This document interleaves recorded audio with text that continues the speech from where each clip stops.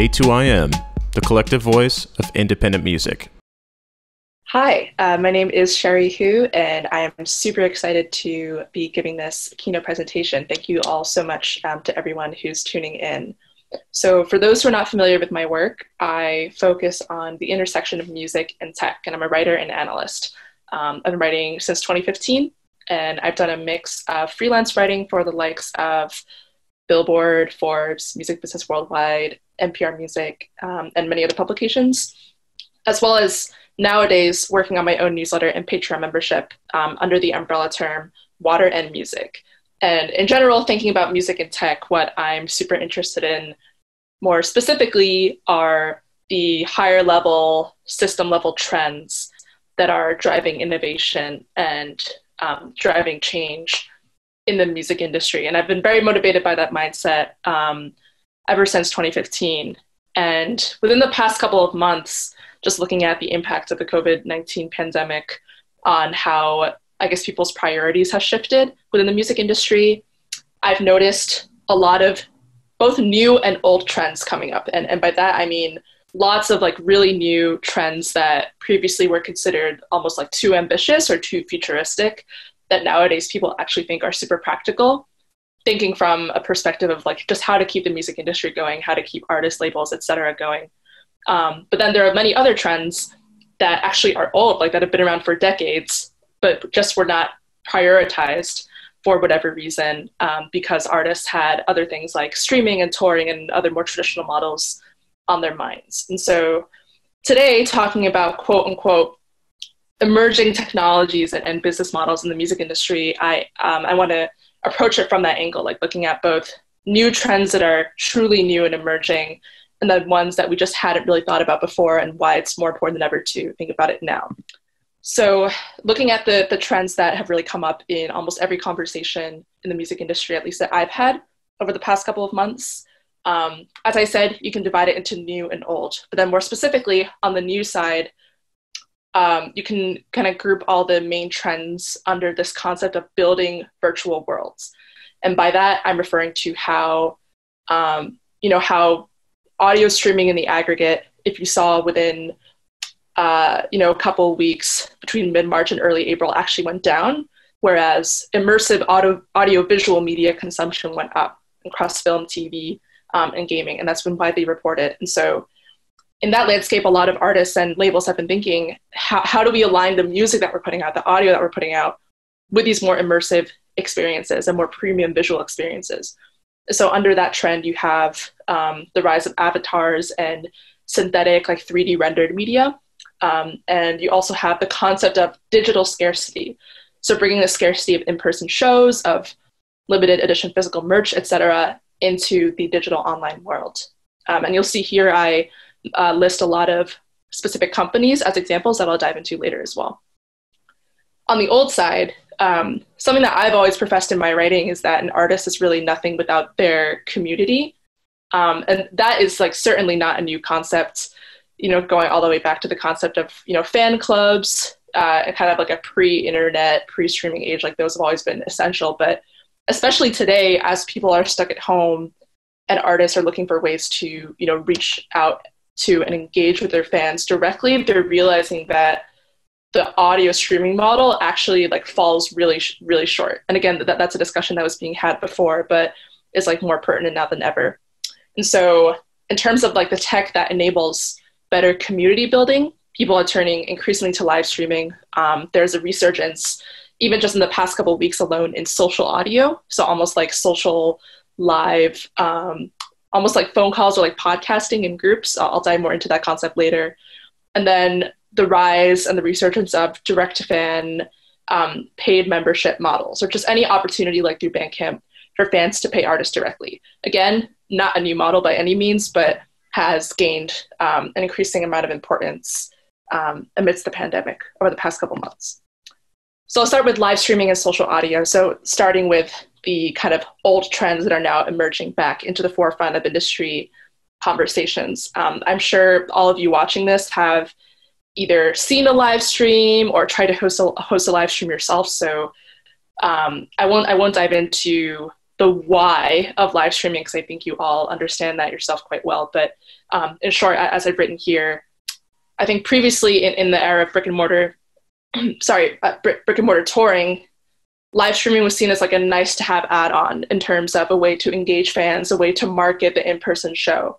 Um, but now that touring is totally off the table, live and synchronous digital media and like online streaming and these online viewing experiences are, are all artists have. It's not a stepping stone. It's it's the end as well. Um, and so it's now like a must have or at least like a must consider for for every artist and every team in the music industry. And it allows for lots of new, interesting, and, and diverse ways to communicate with fans and then also monetize their fandom and their consumption as well. Here are just a couple of stats to illustrate the growth of um, the growth of live streaming specifically in music. Twitch has seen over 500% growth in music and performing arts viewership on their platform. Um, and it's worth noting here that music as a category, as an entire category, is still many times smaller than some of the biggest individual games in the platform. So there's still a cultural gap, but in terms of acceleration, music is one of the fastest growing um, categories in the platform now, and they've dedicated a tab and a very rapidly expanding team to that category as well. In the middle, um, this is from an interview I did on live streaming discovery with Bandsintown. Um, they found that click through rates on push notification reminders for live streams that are now listed on their app is close to 80%. Whereas before it might it might have been only like 10% or like 20% on on a good day. And th- that's in part because people need these reminders for live streams just because there's so many going on. But it also means people are more actively engaged with these apps and more actively engaged on their phones and leaning in, which I think is a good sign for artists who are looking to, to keep in touch with them. And then last but not least, Instagram Live, um, as we've seen, especially with these high profile flagship events like Versus Battles, um, usage in general has gone up by over 70% um, just within the span of a month, namely between mid March and mid April. And actually, just today, this isn't in my presentation, but um, like isn't in the slides, but um, Instagram also just announced ways to monetize um, live streams. So they have a way for fans to like buy digital badges within the stream um, as a way of compensating the creator or the streamer. So that's a really um, important development for music. Here are just a handful of points for uh, to, to keep in mind. I'll just go through them quickly in terms of what live streaming enables and and does not enable, and what kind of platforms and and investors are doing around it. So one, I think I think it's such an interesting format because there's a real time feedback loop of engagement and monetization, and so in many in some ways it's, it's actually more efficient in terms of engaging with fans and leading them to to contribute than if you were just to release your music on spotify or pay for ads um, on social media platforms. And while i've noticed like most artists are going live for free there's a really wide range of monetization opportunities available. You can stream for free but through platforms like Twitch, you can kind of do the free to play model where you stream for free, but then fans can contribute to you by tipping um, within the stream.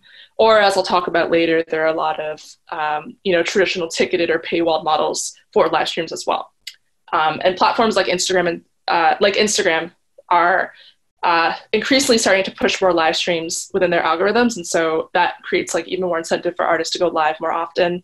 And the screenshot you see on the right is um, from this really new social audio startup called Clubhouse. Um, it's it's kind of like Houseparty for those of you who are familiar with that app, where you can kind of join spontaneous audio only chat rooms in the case of Clubhouse um, with your immediate social network or just people you follow. And um, it doesn't sound like quite technologically, I guess, that interesting or cutting edge, but in recent weeks, there have been a ton of um, musicians and, and music industry influencers who have gone in the app. So you see here, like MC Hammer and Fab Five Freddy and E40 are talking with a lot of um, influential people in the venture capital world. Um, I was listening in yesterday, and Troy Carter was there talking about Spotify and TikTok. And so um, people are, I guess, this this paradigm of social audio is being increasingly normalized as people are looking for like that spontaneous connection online. Whereas previously, I guess it was deprioritized because people took the, the in-person experience for granted um, and that just drives home that a lot of uh, just to, to this last point on the left here while so many artists and event organizers have treated live streaming or these live synchronous experiences as a substitute for um, performing in person. It's really not a mode of performance. It's first and foremost a mode of communication. It's a mode of communicating and just engaging with people rather than just putting on a staged show. So that's just something to keep in mind. Um, one section that I'll have for each of the trends that I talk about today are these sets of open questions um, for builders or entrepreneurs or anyone in the music industry, really. And the point that I'm making with this is that no one really knows the future, but I think this is a really interesting time where anyone can build a feature and actually have more influence on it than before. Um, and so, just some questions for live streaming that are top of mind for me are like, how do we segment the market? Because it's super crowded right now in terms of the number of platforms out there. Um, and how can we then use that segmentation to better evaluate the various streaming opportunities that might be coming your way? Um, what are more interesting formats aside from just straight performances or archival viewings? I think there's definitely a need for innovation in the content. And then, of course, how can we give artists a seat at the table in conversations about the future, um, as opposed to just leaving it to Twitch, which is owned by Amazon, Instagram, which is owned by Facebook, YouTube, which is owned by Google. Um, is there a way to kind of steer that conversation, steer that conversation such that it's not just in the hands of big tech? Still an open question, but one that I think many people watching this um, can like really effectively influence. Next, uh, direct fan uh, and membership models. So th- this is one of the like more interesting conversations that I've had in the, in the music industry because I think especially in the media outside of music, there's this rhetoric going around that Spotify and similar platforms, quote unquote, save the music industry. Um, I think a lot of artists did not find that to be true, and and if anything, the the economic impact of the pandemic on the music industry has like only reinforced that. Like, if if artists are only left with streaming as their digital income, with touring completely out of the question, many of them aren't able like able to make a living or, or pay their rent. And so, in general, on a higher level, there's a conversation around how we lay the foundation for a more sustainable digital economy beyond streaming. And in general, what are the channels out there that have a much more direct and more immediate revenue impact than the like aggregation driven model like on Spotify or Apple Music, where you might be waiting several months for royalties and you're basically competing with a lot of other artists for the same pool as opposed to having it really coming directly from the fan. Um, so I'll talk about yeah direct to fan platforms like Bandcamp and Patreon. So so here are some more stats just to illustrate the growth and the activity around this model. So uh, as many of you watching this probably know already, Bandcamp um, chose to waive their platform fees for artists on two separate days, um, one in March, uh, late March, and then on May 1st. And within just those 48 hours from you know 12 a.m. to 12 a.m. Um, Pacific time, uh, fans paid over 11 million dollars uh, for music and merch directly from artists. Um, and like the site was crashing a, lot of the time, and it was just really it was really hard as um, at least as, as someone in the music industry not to see this on social media. It was like a really celebratory moment for music culture, and it's just so interesting that this old model of buying music kind of came back as people realize its value in, in supporting artists directly. Um, in the membership side of things, Patreon has seen over 200% increase in the number of musicians um, joining Patreon and creating pages on their platform. And um, I believe overall, including in music, there's also continued to be an increase in patronage um, to offset whatever like slight increase there was in churn rate because of just the the general economic situation. So so people are really leaning in um, and ready to support the artists and creators who they care about. They're not just completely backing down.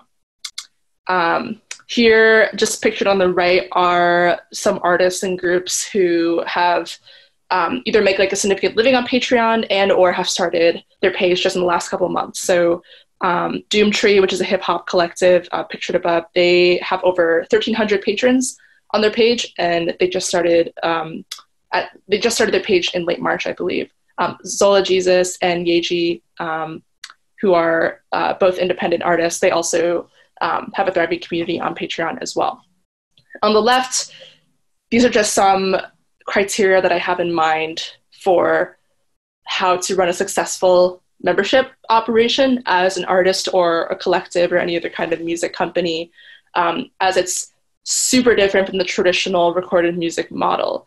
Um, one, I think, unlike how a lot of people think about like playlists on Spotify or the streaming services, membership is not about serving everyone by any means. It's about super serving super fans um, and like really leaning into that base of more loyal fans as opposed to trying to reach everybody just because that's what not what those platforms are built for in terms of discovery um, a lot of the artists who are the most successful at membership are also a lot more open and vulnerable um, about themselves and their creative processes and bring fans in behind the scenes um, which a, a, lot of artists had done already like on social platforms but membership like really structures that as a benefit that fans you know directly pay for as opposed to just get ad hoc um, on instagram through instagram stories or similar.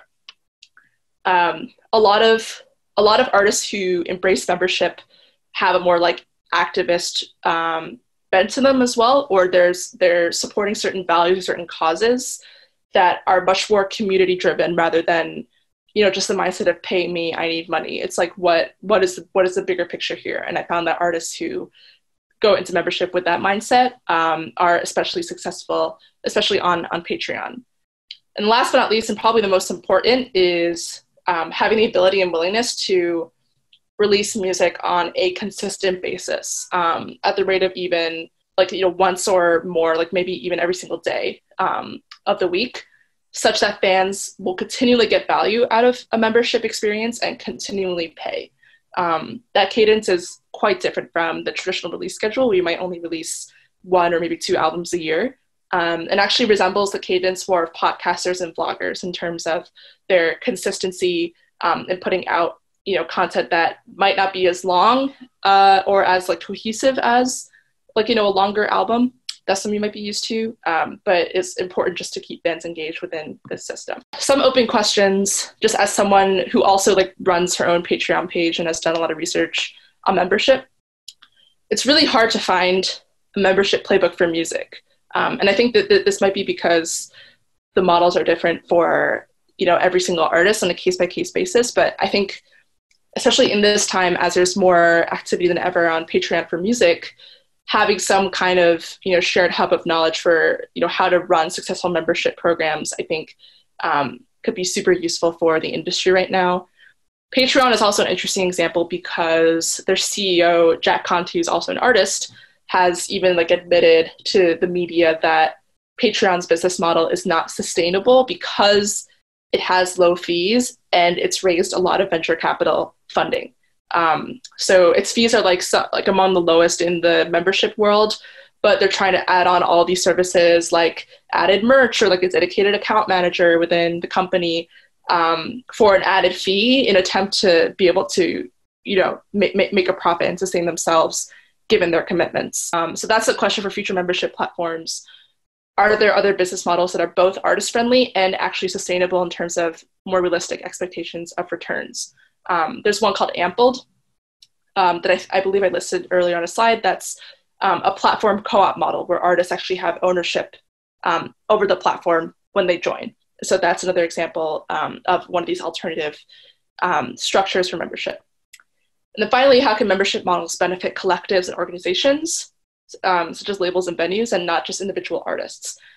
just like the narrative around DIY artists in, in general, I feel like the conversation around membership tends to be very insular. It's like, how does this individual artist just serve their individual fans, as opposed to how can we come together and, in an effort to sustain the industry as a whole, create this kind of group driven membership experience. Um, and that's something that I would like to see, and that I know a lot of other artists would like to see as well.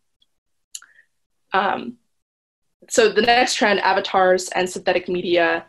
This is um, transitioning to the section of talking about like truly new and emerging trends. Um, the concept of an avatar, which, which, which I'll dive into deeply um, in, in the next slide, of having this digitally rendered body or some kind of like object, like some kind of object or representation representing the artist in the physical world as opposed to their actual like human cells, like a camera on their faces. So like if I had an avatar in a game, um, like representing myself in a music video as opposed to my own self. Um, it, this is like obviously it's like commonplace in some industries like gaming but now like artists are just creating avatars of themselves out of necessity um, because they can't especially for music videos, they can't get together to you know produce traditional videos anymore. Um, and they're also trying to, I guess, meet people where they are in terms of them consuming more immersive entertainment and seeking more escapism.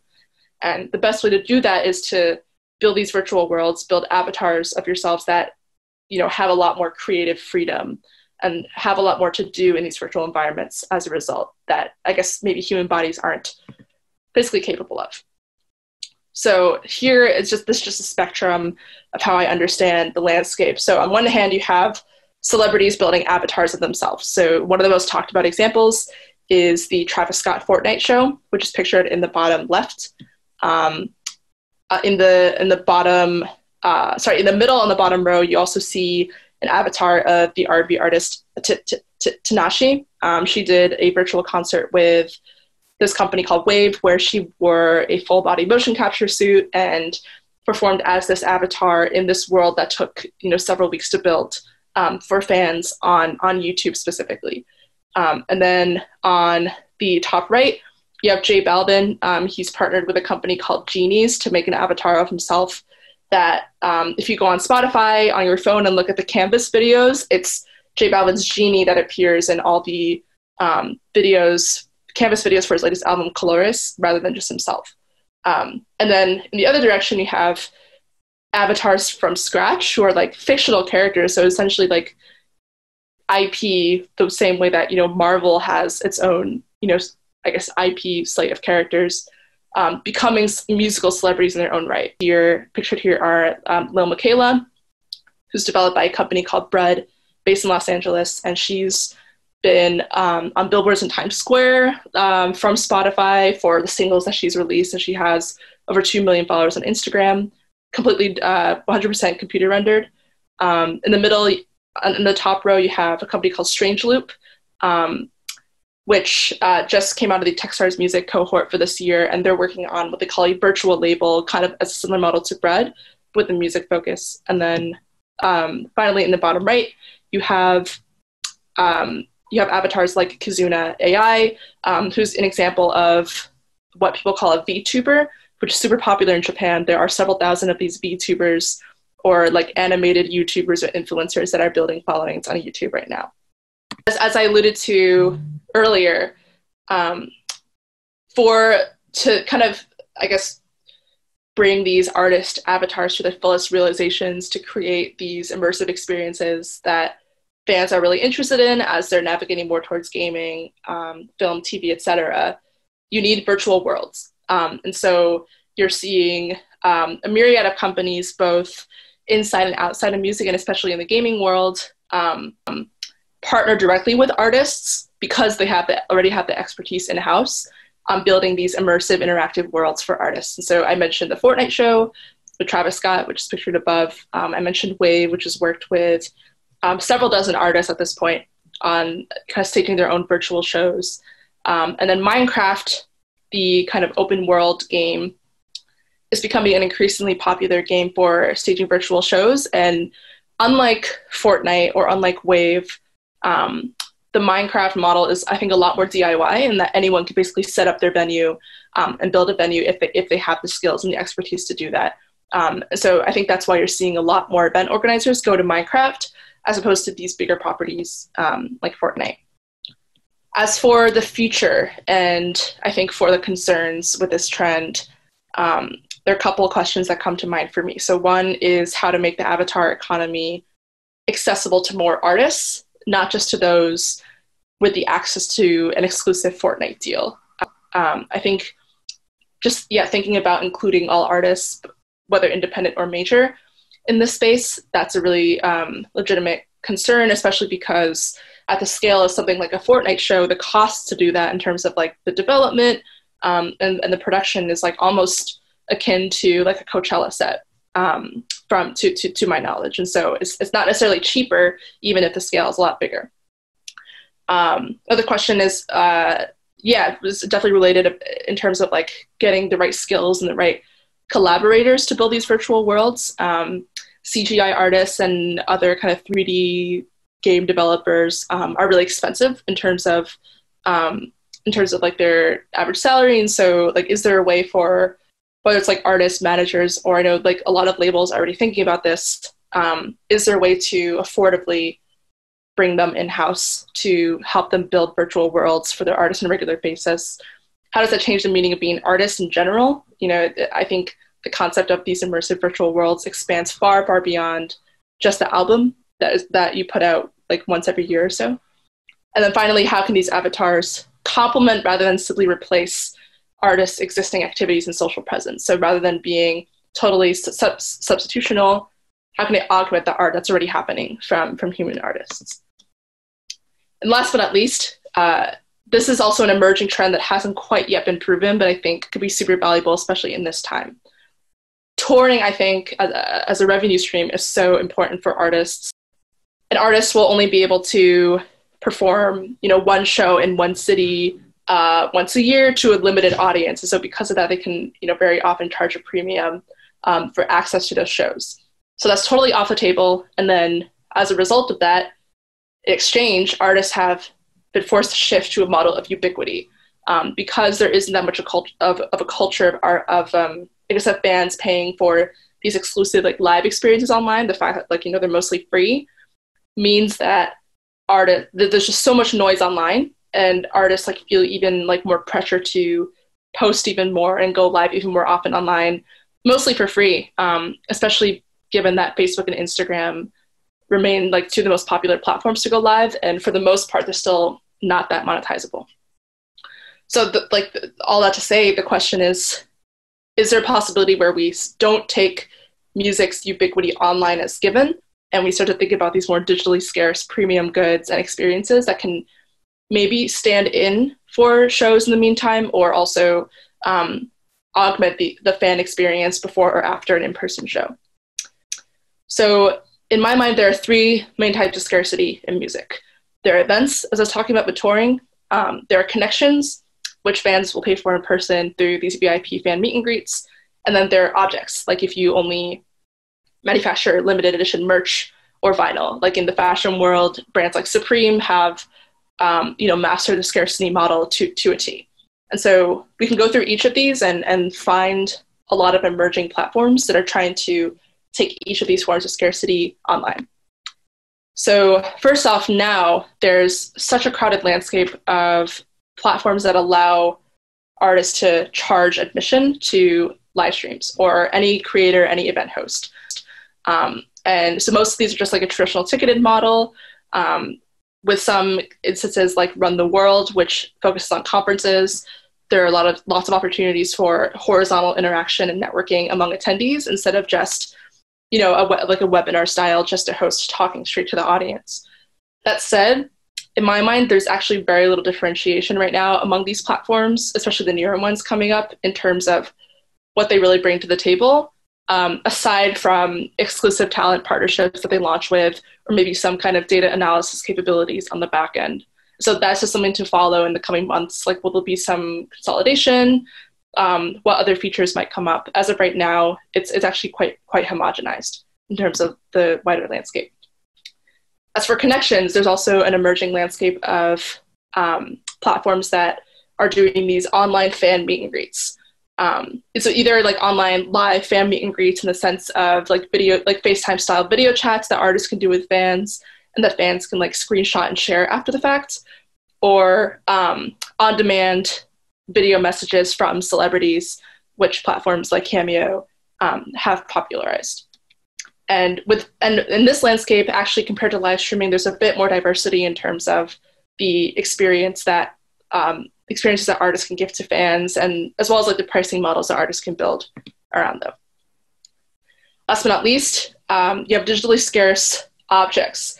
This is probably the most emerging um, concept in terms of people's even just like awareness of it let alone um, willingness to adopt it but you have companies like um, our song which is pictured here in the phone screenshots and, and fanaply they're both trying to build digital trading cards and kind of digital tradable collectibles um, around artists or musical events. So it's not pictured here, but Fanaply um, released a limited number of trading cards related to Travis Scott's Fortnite show for fans to kind of commemorate the fact that they were there. Um, this actually is not a totally new trend in that around 2015, 2016, a lot of companies tried to do this with blockchain. But needless to say, uh, that tech has not really developed that much since then. Um, but it doesn't mean that you know there isn't a use case and a demand for that kind of experience right now.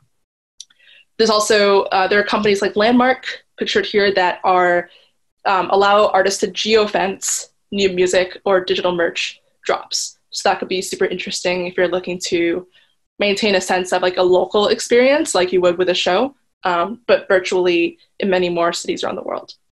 And then last but not least, you have virtual merch, which is already quite common in the gaming world, where you can, you know, fans spend billions of dollars every year buying weapons and skins for the characters in certain games. Um, but there are a couple of companies, like on the left here, um, you, you, see this woman wearing a dress. That dress is 100% digital. Um, it was auctioned off us- using blockchain um, for around $9,000, I believe, by, and it was produced by a company called The Fabricant. That's that they call themselves the digital fashion house, um, and they're and they're manufacturing these I guess yeah, they're trying to take the luxury haute couture, I guess, culture offline and bring that online um, with really advanced kind of CGI driven fashion. Um, and I think there's a lot of opportunity for collaboration with the music industry, especially once there's um, kind of more cross pollination with the gaming world as well, given that fans are already used to this concept um, in that world. As for the open questions um, for this space, I think obviously, you know, if a lot of people are um, out of a job um, and they're stuck at home and they don't have that much money to spend, there's the importance of balancing scarcity with accessibility online. Um, it's kind of a chicken or egg issue um, in terms of, you know, whether artists should be the first to step forward and introduce this concept to fans, um, whether platforms should should do that, um, or or whether fans will do that. It's kind of it's it's an open question in terms of who will be the first to step in and push this model forward. There's a question of how do we build digital goods that fans actually want to pay for, and I think we can look at sectors like gaming and fashion for inspiration. And then finally, this might be the place for technologies like blockchain and cryptocurrency to actually have their moment because what that technology enables in terms of being able to verify ownership, um, reduce fraud, you know, uh, I guess eliminate the ability to make copies of of certain digital goods, which is obviously a concern in the music industry historically. Um, it could be a really cool opportunity for that to come back um, in, in this current time. Uh, that is it for the trends that are top of mind for me, and that I hope all of you watching this will have, you know, walk away um, with some new ideas about, and hopefully will be inspired to build. And here is some contact info for me. If you want to reach me, um, feel free to email me here or um, follow me on Twitter and Instagram. And of course, follow my newsletter.